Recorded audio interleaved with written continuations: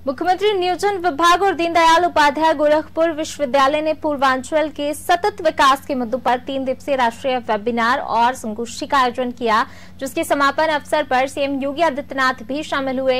इस अवसर पर सीएम योगी ने कहा कि हमें विकास की प्रक्रिया के साथ जुड़कर संभावनाओं को तलाशना होगा। टूरिज़्म और क्षेत्र में रोज़गार के अवसर सुलभ कराने होंगे।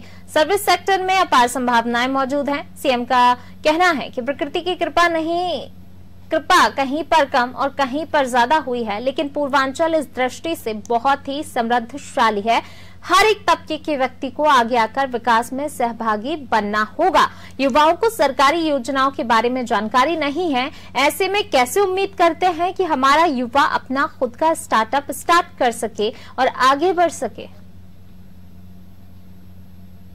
पूरे देश इसमें जितने यूनिवर्सिटी विश्वविद्यालय हैं बुद्धिजीवी लोग हैं जो शोध शोध करके, तमाम ऐसे अनुभवी लोगों का विचार लेकर के इसको पूर्वांचल को चाहे सड़क का मार्ग हो, चाहे हवाई मार्ग हो, या यहाँ से इंपोर्ट एक्सपोर्ट का जो रास्ता खोलने का एक बहुत बड़ा उनका उच्च कोट का विचार बना है।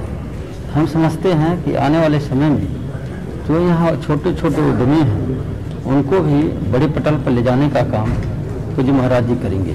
जो भी पूर्वांचल से लोग जुड़े हुए हैं, चाहे वो अमेरिका में हो, चाहे दूसरी स्टेट में हो, उनको साथ लाकर एक विकास का मॉडल बनाया जाए और वो उसमें हम लोग सफल रहे हैं। उसमें क्या क्या मुद्दों को लाएँगे, स्टार्टअप को लाएँगे, उसमें ये इस बात क्षण के आई कि क्या हम लोग एक साइंस एंड टेक्नोलॉजी का पार्क बना सकते हैं, गोरखपुर से स्टार्ट करके अलग अलग जिससे साइंस, टेक्नोलॉजी के वेंचर, इनोवेशन और स्टार्टअप को मदद मिले।